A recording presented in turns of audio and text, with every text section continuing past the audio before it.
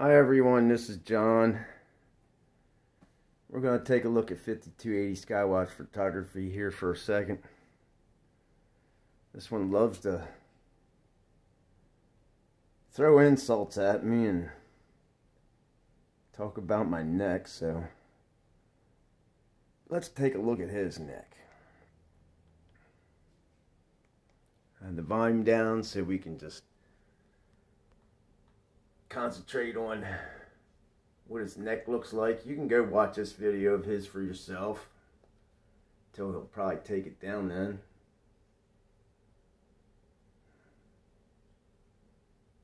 So then I'm going to put a video up showing my neck.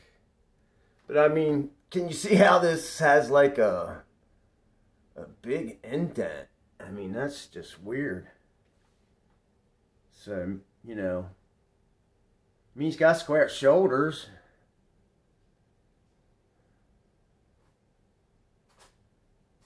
But that's uh that's a very strange indent in your neck, John. So I'm going to show a video next of my neck. I mean, what's that saying about, you know, if you live in a glass house, you shouldn't throw stones?